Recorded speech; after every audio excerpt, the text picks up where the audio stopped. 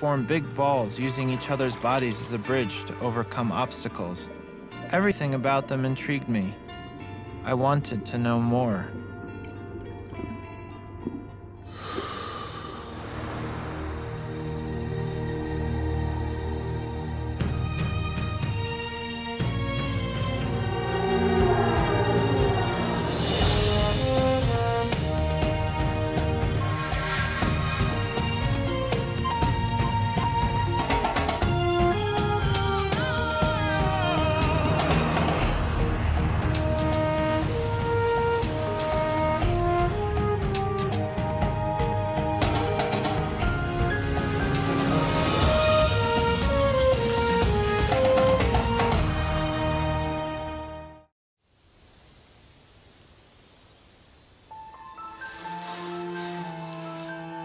James Prosek.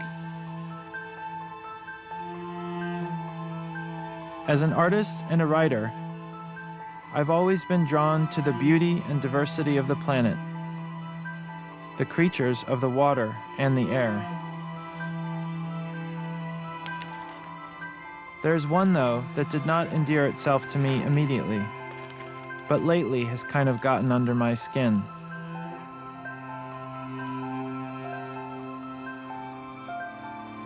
The eel is not an easy fish to like. It doesn't have the beauty of the trout or the colors of the sunfish.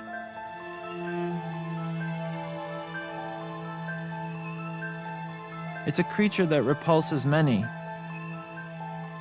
but I've come to find beautiful.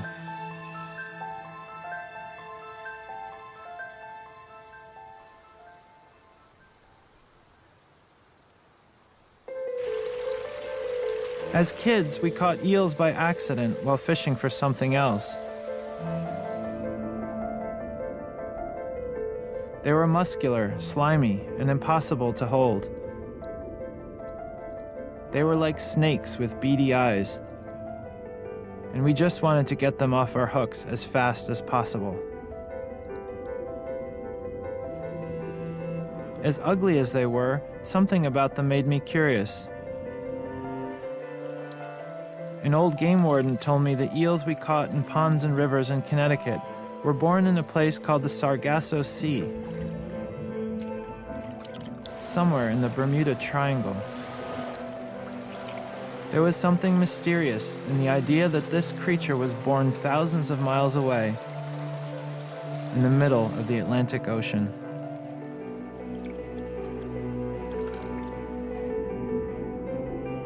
This snake like creature hides in dark crevices and rivers, like demons in their lairs. Only tempted out at night to find an easy meal. They can swim backwards equally well as forwards and move like nothing else I'd seen. I'd heard they could travel overland on wet nights and form big balls using each other's bodies as a bridge to overcome obstacles. Everything about them intrigued me. I wanted to know more.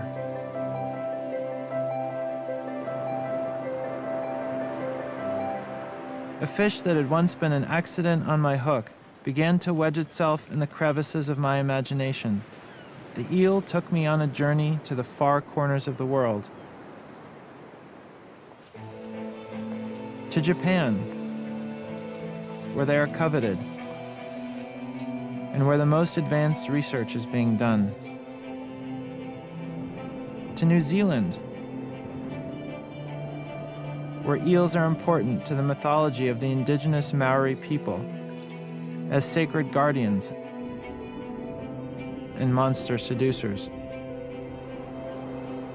And back to the United States, where eels are virtually ignored, but in Maine are making some fishermen into millionaires.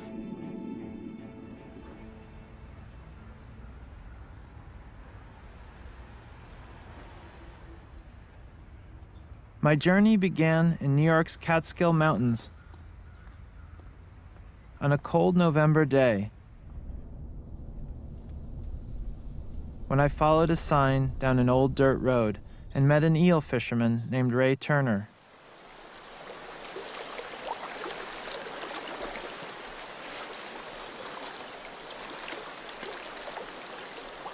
Ray put me to work immediately deconstructing his weir to protect it from the harsh Catskill winters.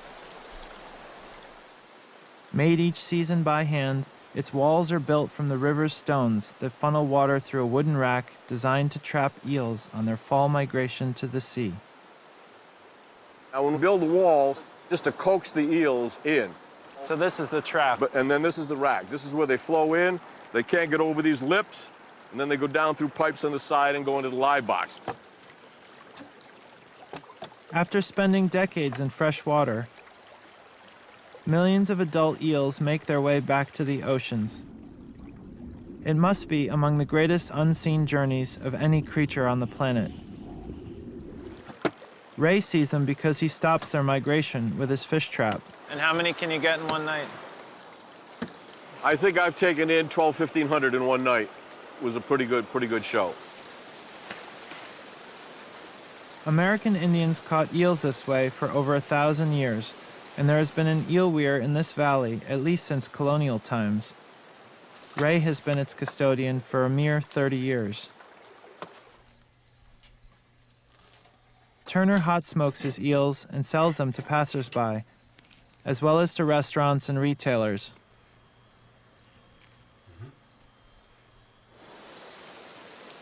Ray spoke of the weir in metaphorical terms. The wooden trap is the womb, he said. The stone walls are the legs. You see, it's a woman. All the river's life comes here.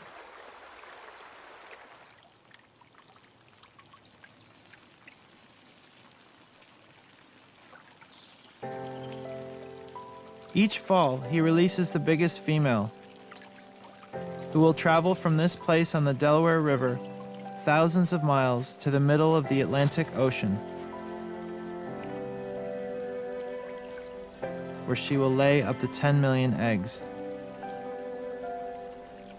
A gift and a ceremonial tribute to the river and her creatures.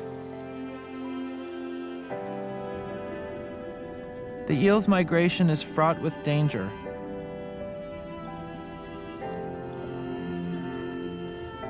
Along the way, they face hydroelectric dams, river diversions, pollution, disease, predation, and increasingly fishing by humans. Eels are shrouded in mystery and I felt compelled to unravel the secrets of their life cycle.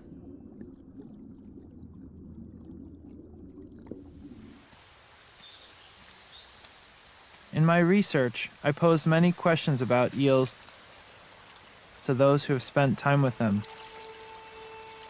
and was often met with the same answer We don't know. This is a truth that many who study eels are forced to face, forced to stare into the secret abyss.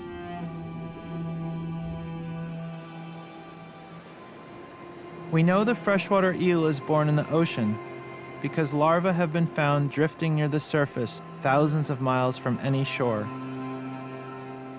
But no humans have ever witnessed adult eels spawning. They hatch into this willow leaf shaped creature that looks nothing like an eel, so much so that it was originally classified as a separate species of fish. No one could have imagined that this was the larval stage of the freshwater eel. They hatch by the billions and drift on ocean currents to the shore, where they eventually have to swim towards the mouths of rivers. No one knows how they randomly distribute themselves throughout their native range. No one knows what triggers them to enter fresh water. And no one knows exactly what determines their gender once they have entered fresh water.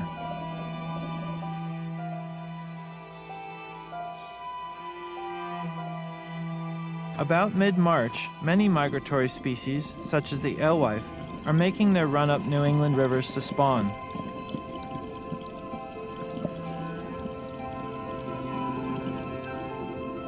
At the same time, baby eels, clear as glass, are moving upstream to find their home. The opposite life cycle of every other fish. They will live here in fresh water for many years before returning to the place in the ocean where they were born. Salmon are usually put up as the kind of indicator species, and of course, they do have um, a specific homing back to the rivers that they were born in, where eels don't.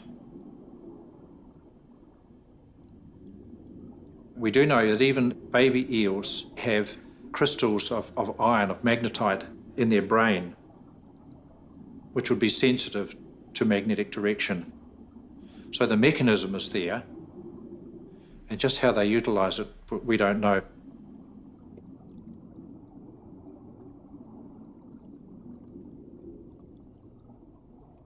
With the demand for eels in Asia at an all time high and world populations of eels at an all time low, Maine has become an unlikely place for an event known locally as the Eel Gold Rush. When the tide comes in, how far up does it go? All the way up there? It goes all the way up there. Pat Bryant, a former hairdresser, was one of the early eel fishermen and is among a handful of licensed dealers. The range of the American eel is shrinking, the total population declining, and many blame the commercial fisheries, sending baby eels known as glass eels to Asia. The U.S. government eventually shut down these fisheries, except in Maine and South Carolina. Back in 78, we didn't have any idea what we were doing. We got a quick, there's a quick rundown on how to set these nets, and they brought us some nets, and we came down here and threw them in the water, and we used to sleep at night down here. They So had- there was money to be made even then. Well, yeah, but not a lot of money so much. It was like only $25 a pound. But there were no regulations back then, right? No. Were the catches bigger back then, you Yeah. think? We'd come down here and we'd fish 80, 90, 100 pounds a night. Baby eels are shipped to China and Taiwan, where they are raised to adult sizes in farms and then distributed around the world. It's a multi billion dollar industry. Born in the Sargasso Sea, wild caught in Maine, farm raised in China. And you might eat that very same eel in a Manhattan restaurant. In the spring of 2012, the price for glass eels in Maine hit a record high of $2,600 a pound. A hundred times the amount when Pat first started. The first guy that came into your place had how many eels? Yeah, a little over pay 40 pounds. and I think I paid him $104,000. Cash. Yeah. Wow. That was for one night's work? Yeah. The rush turns into a frenzy. Guns are carried to ward off poachers. Banks run out of money as the fishermen cash in. If you're catching a half pound a night, you're making $1,000 a day. Now, what job do you have in the state of Maine where you can make $1,000 a day? Very few. Pat had 50 pounds of glass eels, worth over $140,000, stolen from her home two weeks after my visit.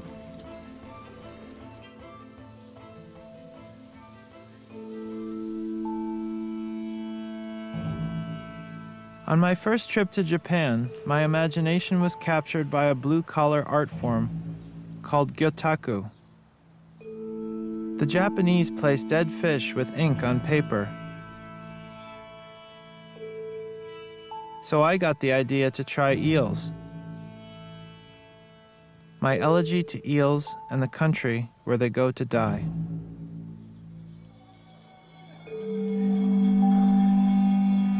In a world where our oceans are systematically overfished, Japan consumes 6% of that harvest.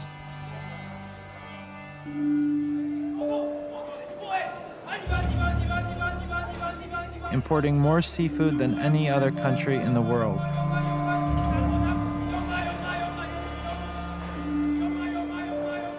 While tuna remains the most popular fish consumed in Japan,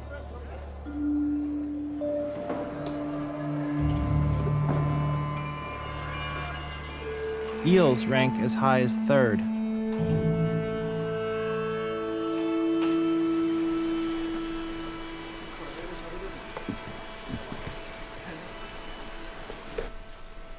At an eel slaughterhouse in Tokyo, the pace never lags.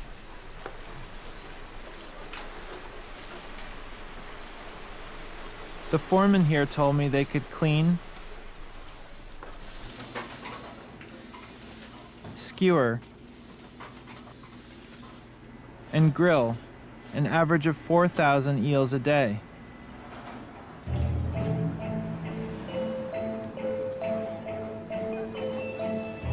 More than 130,000 tons of eels are consumed in Japan each year.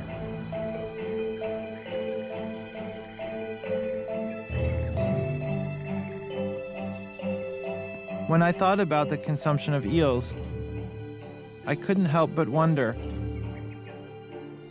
how many of them might have come from a farm in China, supplied by Pat Bryant in Maine. The Japanese eat more eel in the summer than any other season because they believe the flesh gives them stamina in the relentless heat, a relief from natsubate, or summer fatigue. Eel meat has well known health giving properties. It is high in vitamins A and E. Vitamin A is good for human skin Vitamin E helps prevent aging.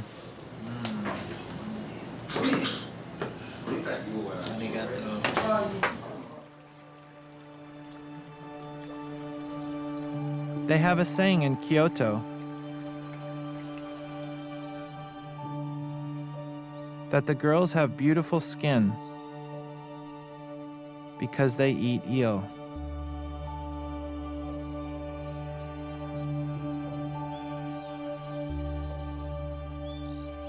Eel consumption peaks at the end of July on Doyo Unagi, Eel Day. Signs, flags, and posters commemorate the event, and eels are sold in every supermarket and roadside convenience store. There is even an unagi dog, the Japanese equivalent to the hot dog.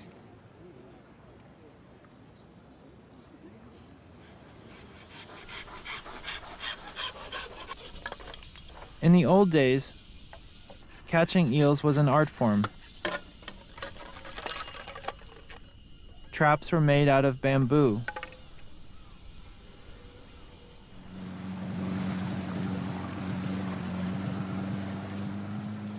Eels were caught one at a time.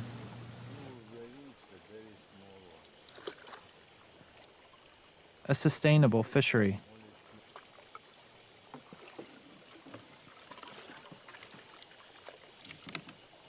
Because of overfishing, degraded habitat, and climate change, there are no longer enough wild caught eels to satisfy the demand.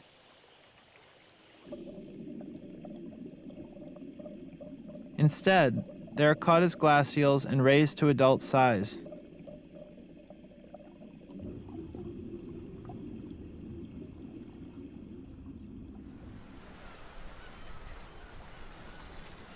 At a Japanese eel farm, it's feeding time. Temperatures well over 100. But the girls on summer break don't seem to mind the oppressive heat inside this plastic cocoon that accelerates the growth of the eels. Many Japanese say they prefer the taste of their native eel and are willing to pay a premium for it. Restaurants don't like to admit that on a given year, 80% of the eels eaten in Japan come from glass eels raised in China. This is the only place in the world where humans can witness the first moments of eel life. Since the 1970s, the Japanese government has funded a program to try to breed and raise eels for market. Adults are stripped of eggs, which are artificially fertilized. Though they have made a lot of advances, most of the larvae die. Of the remaining, many are deformed. Millions upon millions of dollars are spent. A work in progress. The eel remains elusive. My work, my art and writing, is about experiencing nature firsthand. My inspiration comes from nature, so naturally I want to see it protected. I also realize that science plays a critical role in preserving the eel's future. If there is one man who has some of the answers to the eel's life cycle, it is Katsumi Tsukamoto, the foremost scientist in the world for ocean research on eels. In 1991, he led a team that discovered eel larvae drifting in the Pacific Ocean west of Guam. A watershed moment. But his ultimate challenge to witness the eels spawning would be like finding a needle in a haystack.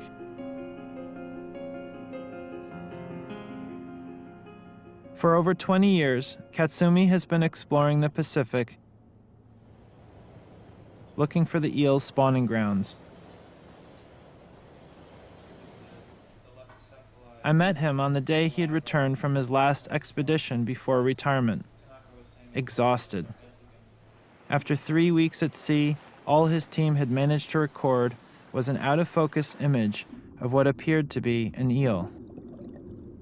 Our final goal is to see the spawning aggregation dramatic ceremony at the new moon night uh, in the uh, West Mariana Ridge. That's our final goal. But it's a very difficult one. Scientifically, eel is a very mysterious, mm, unknown, totally unknown. After decades of trying to discover where and when eels spawn, science for Katsumi had been tempered by conjecture and imagination. This is just my speculation, but they may aggregate a thousand or ten thousand uh, aggregate and make uh, eel balls in the in the ocean and the, and uh, uh the sea surface about uh, 200 meter deep. Then they spontaneously spawn sperms and eggs in the dark ocean.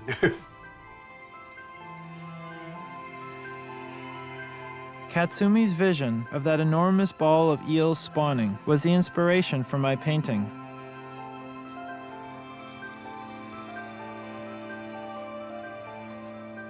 Like all professors in Japan, Katsumi was forced to retire from his position at the age of 65.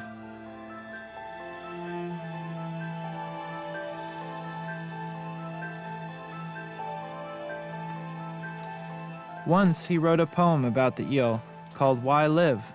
Why Die? An ode to this creature and its mysterious nature. I was fascinated that a man who spent his entire life in research and labs would rely on poetry to help explain the eel.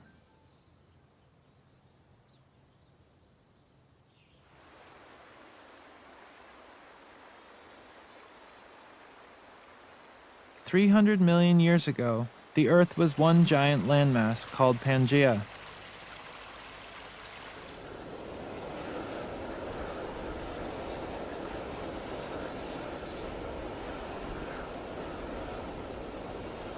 As the plates shifted and the crust shook, continents broke free,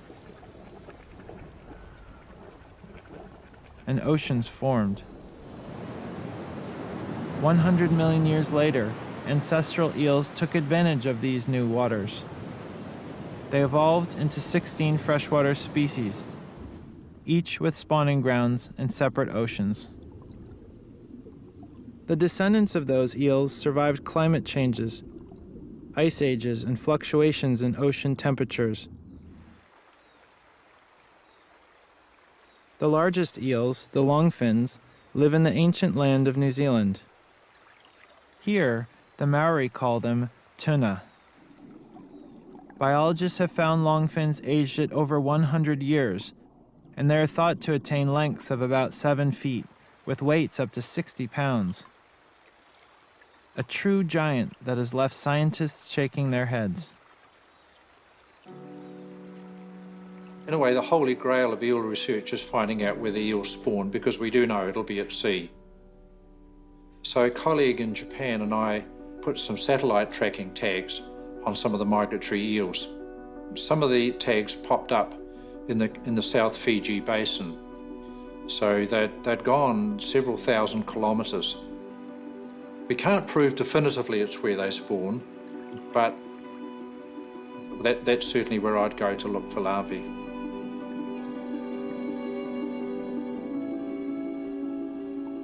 For what purpose do we need to know? You know, isn't it enough that we know they go out at a certain time, they return at a certain time? Isn't that enough? Do we need to know where they, where their whare is, where their house is? Hmm.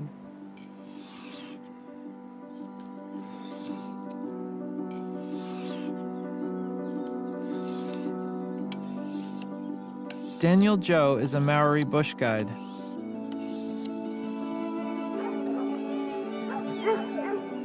DJ, as his friends call him, lives without electricity on New Zealand's North Island. On a piece of tribal land he inherited from his grandfather, called Double Crossing. One river crossed by foot, another by cable. But I was also raised in town, you know, like most Kiwi kids.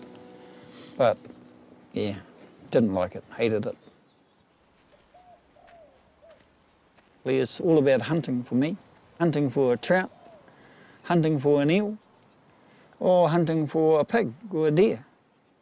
So it's all about ngā mahi kai, working for your food. It was no small irony when DJ sent me out on his stretch of the Waipunga River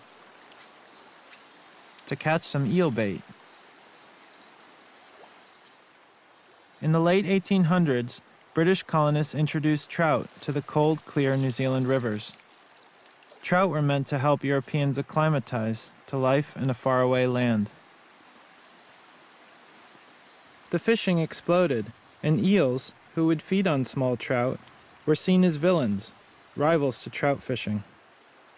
So actual wanted posters were placed around bait shops in the 1950s, encouraging anglers to kill all eels. Instructions on how to do it accompanied every fishing license. Because the eel was so important in Maori culture, this campaign was seen as a direct assault on their people. Eels were deemed to be a predator on trout. I was actually encouraged to kill eels. In fact, there was a bounty paid to school children to go out and catch and kill eels. Later, studies revealed that the enormous trout sizes in New Zealand came as a result of eel predation, keeping the trout population in check. Fishermen were satisfied. The eel was left alone. But damage had been done, not only to the giant longfin eels, but to the people for whom they were so important. You carry the front and I'll carry the back. Okay. Actually, it's pretty light, did you? Okay. I can do it. You're right. It's flat, huh? We used the trout I caught as bait in DJ's homemade eel trap, something he called a hinaki. James, it might be better on the other side of the this. Oh, okay. Are we going to be able to get down there? Eels have been a source of protein for the Maori since their ancestors arrived from other Polynesian islands several hundred years ago. Although they are not valued in local restaurants, if the Maori eat them, I was told by a Kiwi, they must be a second class fish. Ginger, we can straight in there, eh? That looks good. There's probably some living in this tangle, right? Yeah. I got the end of it. Okay.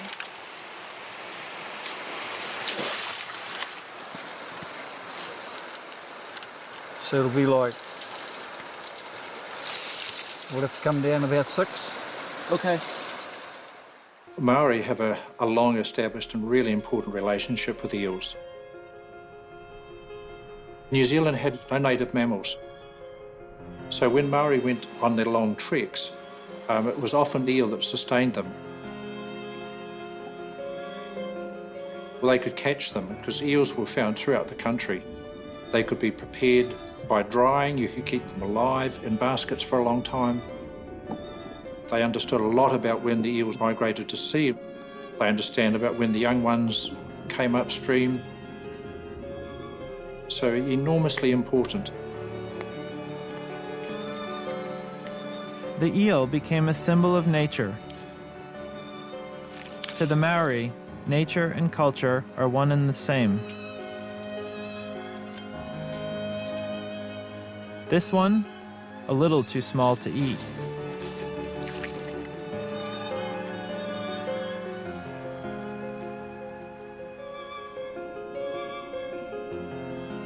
Up until the middle of the 20th century, there were enormous longfin eels in New Zealand. The Maori told stories of 10 and 12 footers with bodies as wide as your thigh and heads as big as a dog's, weights over 100 pounds, seen in rivers preying on the carcass of a dead sheep or a cow. They have very small teeth, so they can't bite off chunks. But what they can do, of course, is they're very efficient at, at grasping. If the prey item is too big that they can't inhale it, then they'll spin. And they can do um, 10, 15 revolutions a second. They can spin very rapidly and they'll just tear chunks off.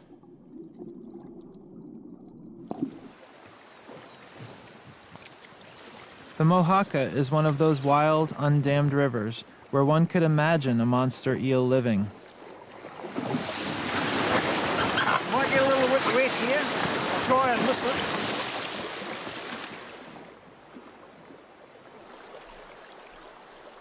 Eels have poor eyesight, but a keen sense of smell. We used a bit of fresh meat to attract them. Oh, he's coming out. Yes. DJ only took just what he needed from his local waters, the way his ancestors had.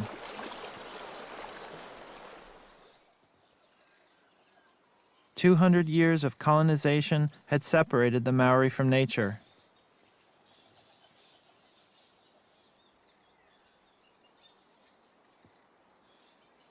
Daniel Joe was an exception.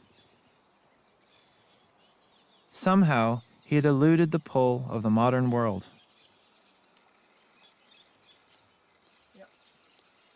DJ told me that the eel, Old Tuna, was Morehu, a survivor. He had lived in the rivers long before the trout, and he'll be there long after. Think about it, James. How many floods have they survived? So-called 50-year floods and 100-year floods and Nothing to them. nah. They're always there, eh?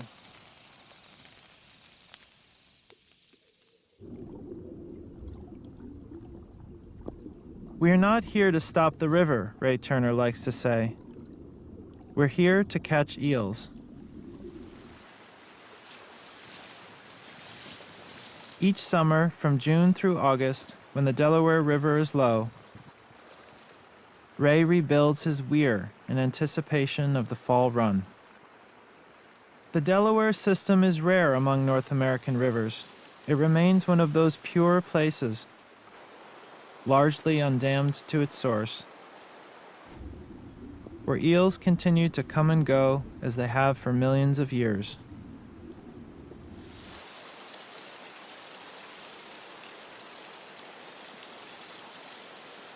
I asked Ray, How do you know when the eels are going to run?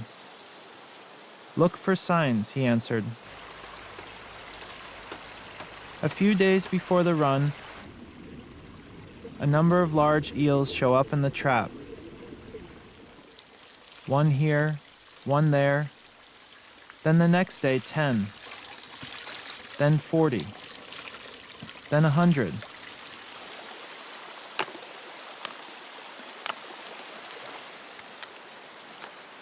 Ray calls these early fish the vanguard eels.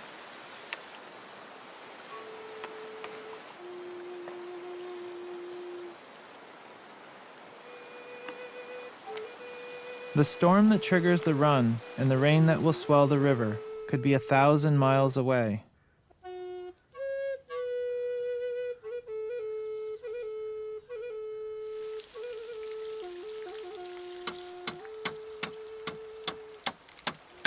It might be sunny and clear on the Delaware River. But the eels know it's coming.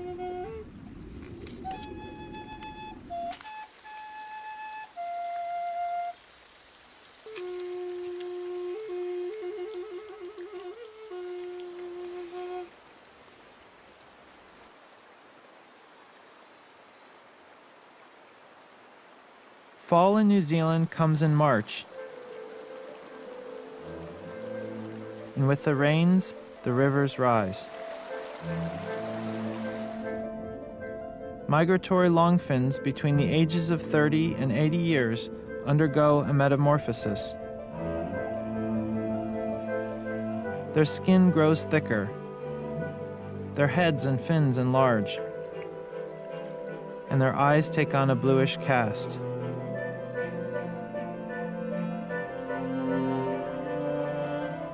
This uniform helps them endure their difficult passage through a long and perilous ocean journey.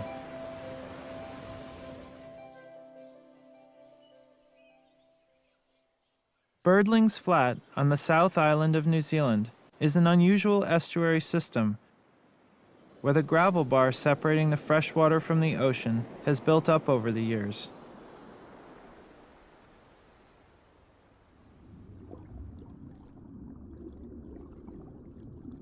Migrating eels on their way downstream smell the salt water seeping through the gravel and wait for a chance to get to the ocean. A protected resource, only Maori are allowed to trap eels here. They dig drains in the gravel to trick the eels into thinking they're leaving for the ocean.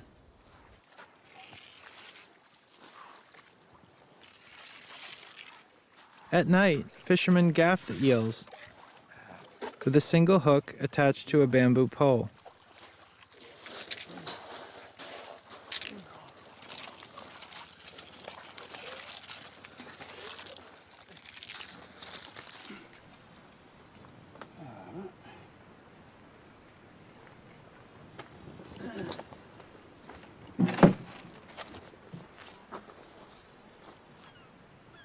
The eels here are not sold. They are bartered or given away on special occasions, such as weddings.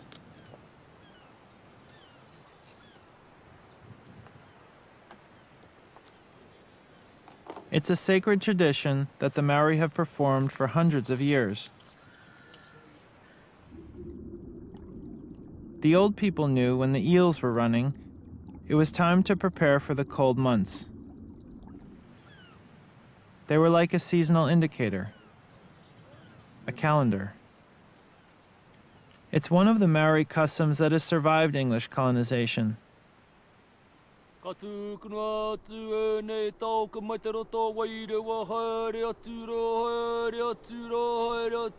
The British pushed Maori off their native lands,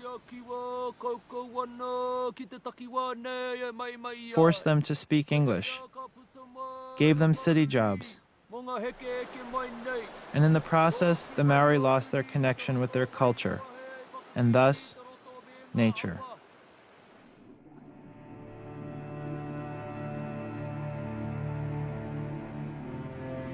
Eels were sometimes seen as taniwha, mythical beings. Guardians who showed up to warn of trouble.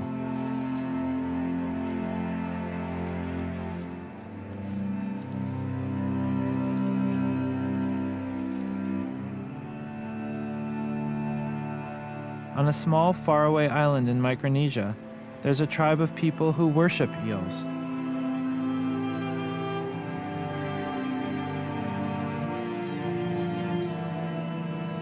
So sacred are they that the people don't eat them and consider them human ancestors. They believe the eel's movement causes the rivers to flow,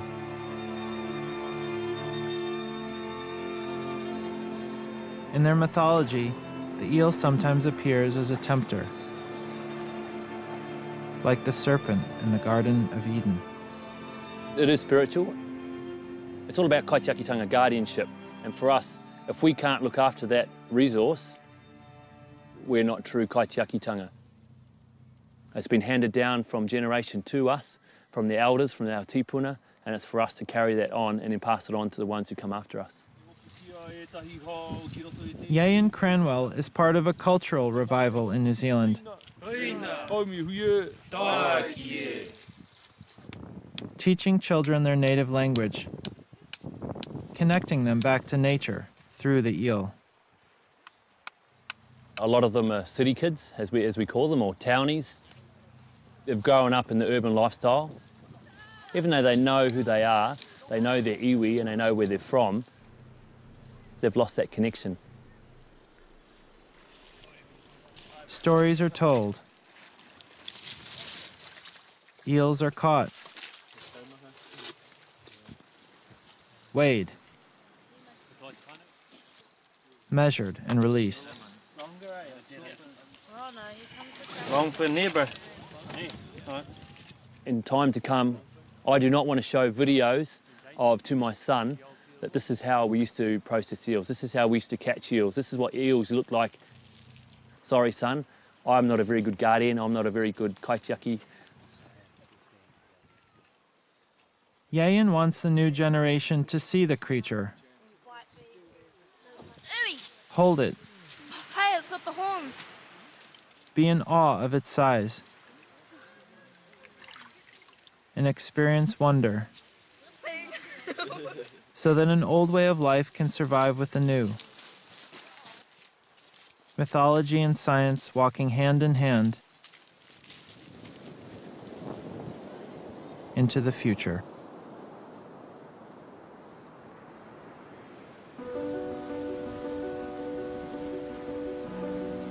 The greatest danger to eels on their journey to the sea is man made dams. In the late 1940s, hydroelectric dams were built all over New Zealand. They became something of a slaughterhouse. Eels feel the pull as water shoots through the turbines. They try to swim through and are chopped up. Getting the small ones upstream is comparatively easy because they will climb and so you can put in a ladder. That goes on at virtually all large hydro stations now in New Zealand. And we get millions that are transferred above some of the largest stations. The difficulty is with the adults going downstream. And they will typically migrate during floods.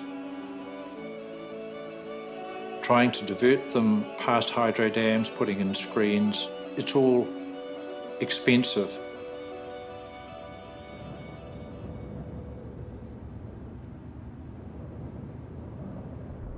The longfin eel is on the threatened list, and conservation groups have taken up the cause. Trapping eels in rivers and lakes and releasing them downstream of the dams so they can go out to sea and spawn. Evan Brunton was a longtime commercial eel fisherman. After retiring, he had a change of heart. Ooh, that is That's a a beautiful big long, beautiful one. Oh my longfin god. migrant. How many will you transfer every year, you think? Last year I transferred about 4,000 and so far this year it's up to about 2,600 so far. Wow. The average age of a, a migrant female that leaves this lake is 80 years old. And they go to the head of the lake and they go through the turbines. And the turbines have 100% kill. With that kind of kill rate, it doesn't take a mathematician to understand that generations of eels were destroyed. Evan, can you describe your conversion from commercial eeling to helping the eels, from killing eels to saving them? I, I just realised that over the years when I was commercial fishing, it was it was just all take, take, take, and um, and I realised once I got this job and learned more and more about eels, how fascinating they were, and and I just felt as if I was able to just give something back. These are all migrants. All migrants.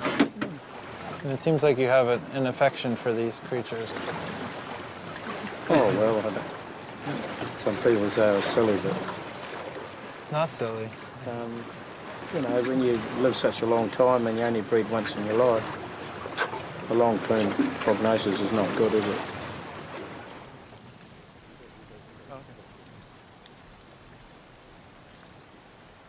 For the Maori, this exercise in trap and transfer is personal.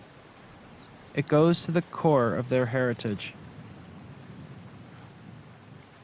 It's about the preservation of a way of life.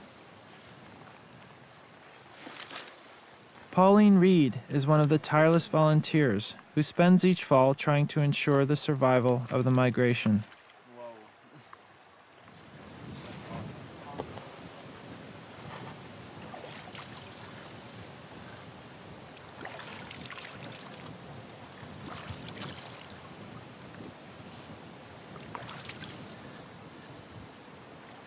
You know what the worst thing is? These creatures have been here long before mankind was here. And we don't have the right to destroy it. None whatsoever.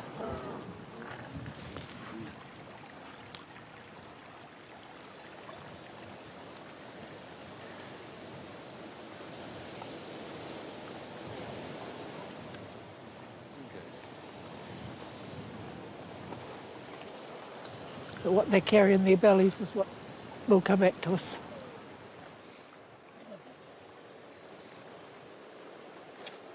In a way, Pauline is trying to save more than the eels. She is trying to save her people.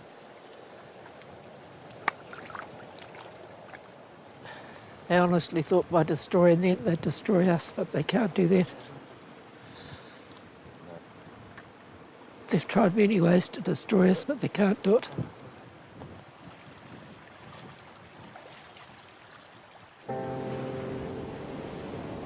The eel had become an important fish to me, a thread that tied oceans and rivers together, and made me feel like the world was held by one interconnected system of beauty, magic, and mystery. I remember all the times I visited Ray Turner in the Catskill Mountains, hoping to see the eel run. I never saw it. Large rains brought massive floods and enabled the eels to swim over his weir. For two years in a row, the eels had won. But that's no matter. I'll go back next year and the year after to see my friend the river rat. I told Ray once that I admired the way he lived. Don't look up to me, he said. Look with me. Meeting Ray Turner started my journey with eels. Originally, I had hoped to see them spawning, to find that holy grail. I came to wonder are we sometimes better off not knowing? Ray Turner, DJ, The Children at Birdling's Flat, Katsumi Tsukamoto,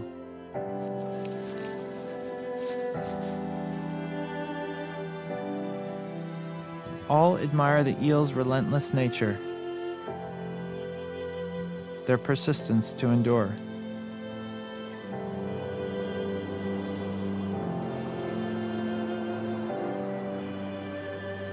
Remember that gravel bar back in New Zealand that separates the river from the sea?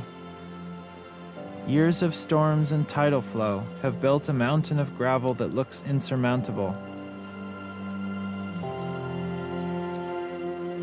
But the eels find a way.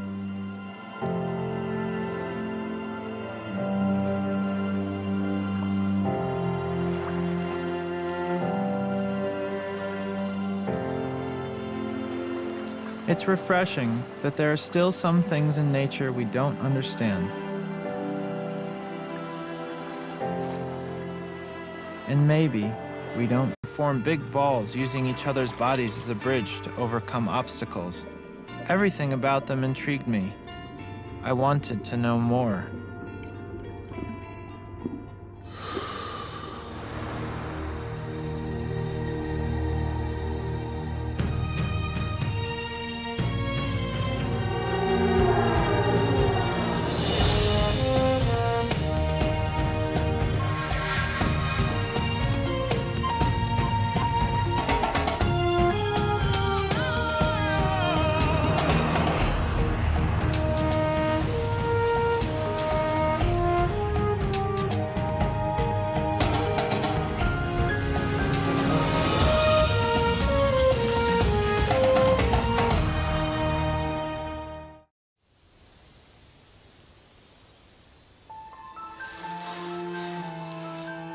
I'm James Prosek.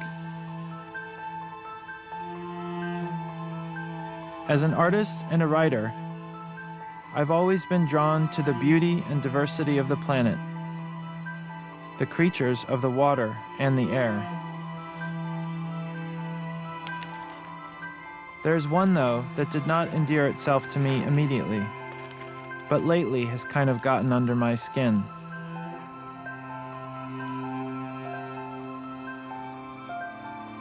The eel is not an easy fish to like. It doesn't have the beauty of the trout or the colors of the sunfish.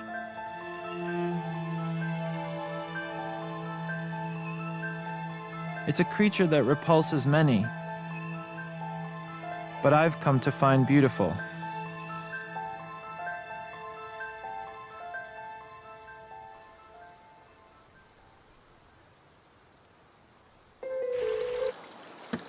I think I've taken in 12, 1500 in one night. It was a pretty good, pretty good show. American Indians caught eels this way for over a thousand years, and there has been an eel weir in this valley at least since colonial times. Ray has been its custodian for a mere 30 years.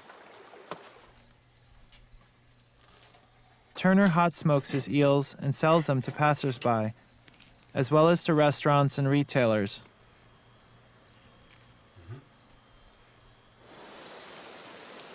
Ray spoke of the weir in metaphorical terms. The wooden trap is the womb, he said. The stone walls are the legs. You see, it's a woman. All the river's life comes here.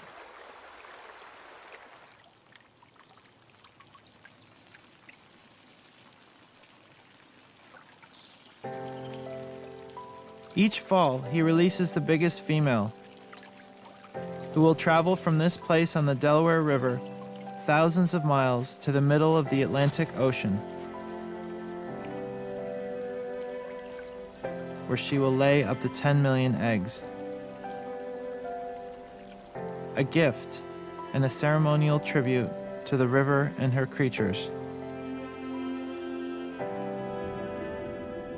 The eel's migration is fraught with danger.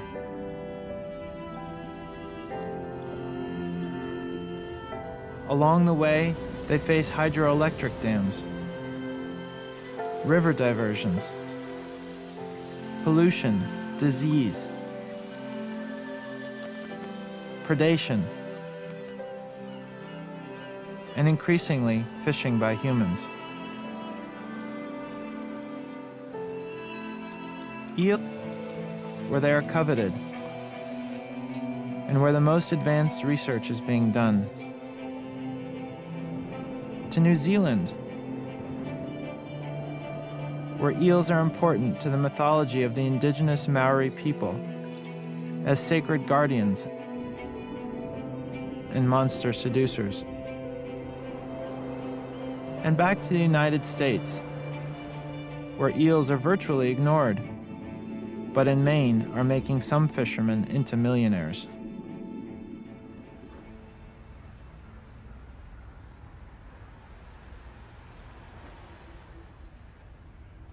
My journey began in New York's Catskill Mountains on a cold November day when I followed a sign down an old dirt road and met an eel fisherman named Ray Turner.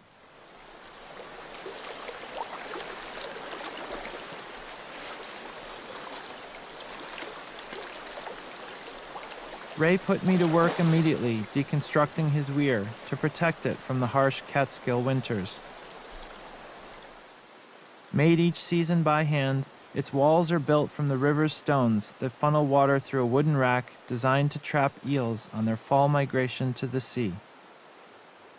Now, when we build the walls, just to coax the eels in. So this is the trap. But, and then this is the rack. This is where they flow in. They can't get over these lips, and then they go down through pipes on the side and go into the live box. After spending decades in fresh water, millions of adult eels make their way back to the oceans. It must be among the greatest unseen journeys of any creature on the planet.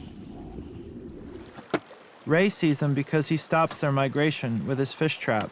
And how many can you get in one night? Eels are shrouded in mystery, and I felt compelled to unravel the secrets of their life cycle.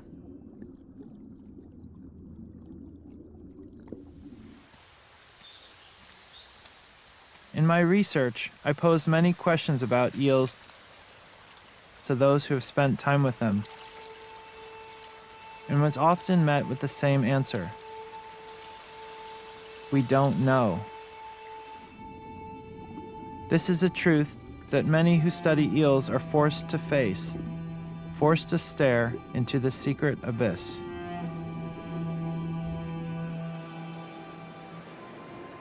We know the freshwater eel is born in the ocean because larvae have been found drifting near the surface thousands of miles from any shore. But no humans have ever witnessed adult eels spawning. They hatch into this willow leaf shaped creature that looks nothing like an eel, so much so that it was originally classified as a separate species of fish. No one could have imagined that this was the larval stage of the freshwater eel.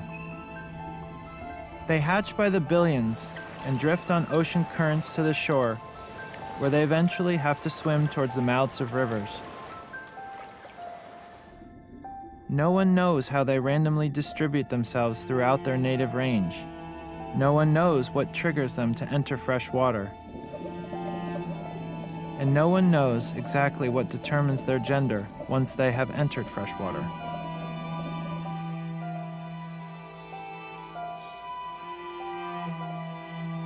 About mid-March, many migratory species, such as the alewife, are making their run up New England rivers to spawn.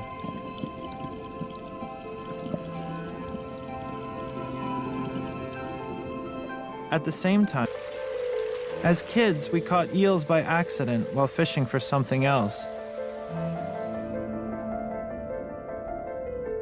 They were muscular, slimy, and impossible to hold. They were like snakes with beady eyes, and we just wanted to get them off our hooks as fast as possible. As ugly as they were, something about them made me curious. An old game warden told me the eels we caught in ponds and rivers in Connecticut were born in a place called the Sargasso Sea, somewhere in the Bermuda Triangle. There was something mysterious in the idea that this creature was born thousands of miles away in the middle of the Atlantic Ocean.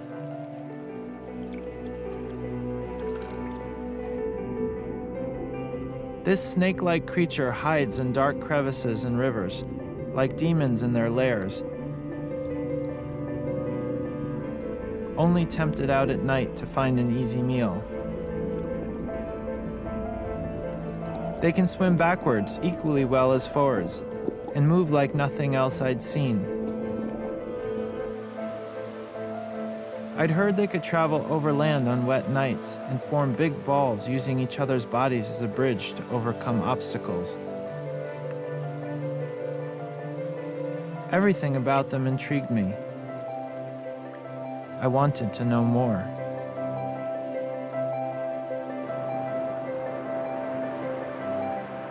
A fish that had once been an accident on my hook began to wedge itself in the crevices of my imagination. The eel took me on a journey to the far corners of the world. To Japan,